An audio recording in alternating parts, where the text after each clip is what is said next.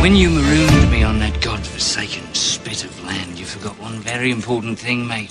I'm Captain Jack Sparrow.